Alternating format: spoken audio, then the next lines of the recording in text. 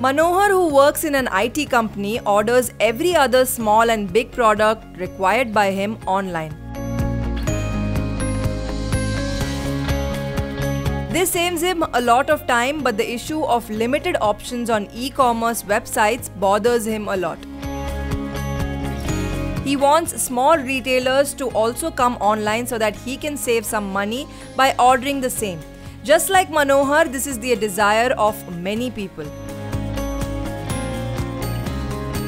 However, in the field of online shopping, only a few sites are occupied. In view of which, the government has taken such an initiative which is going to completely change the way of shopping from e commerce websites.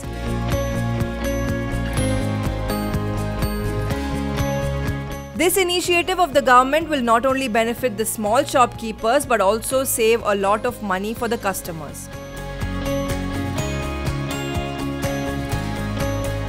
In India, the e-commerce market is occupied by only a few companies and these companies decide the rules and regulations of the market.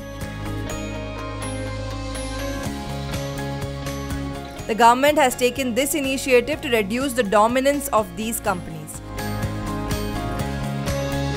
The government is going to bring in ONDC that is Open Network for Digital Commerce. Its purpose is to create an open platform through electronic networks. This will be a platform that can be used by all shopkeepers, big and small. ONDC is an open source network. In this, local businessmen get a network enabled application.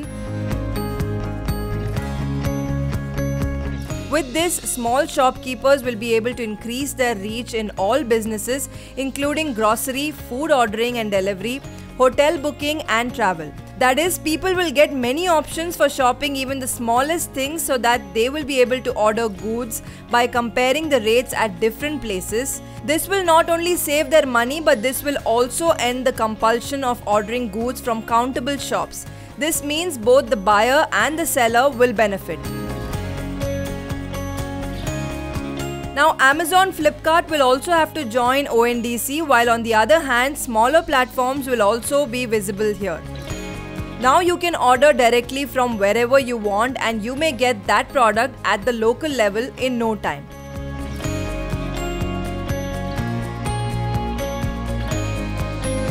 Here you also get the facility of interoperability, meaning order the goods from one app and the other app delivers it. Like if you want to order food but its delivery charge is showing high on Zomato or Swiggy, in this case you can order food from Zomato or Swiggy which can be delivered by any other delivery platform like Dunzo or directly from the restaurant. By the way, since April 29th, ONDC testing is going on in five cities of the country that is Bangalore, New Delhi, Bhopal, Shillong and Coimbatore and about 150 retailers are participating in this pilot project. But there are many obstacles in the way of this initiative of the government such as big companies like Amazon and Flipkart even after suffering losses will provide things cheaper than the local shopkeeper. While people too will order small items of lower prices from nearby shops as it will be difficult for the local shopkeeper to deliver it frequently.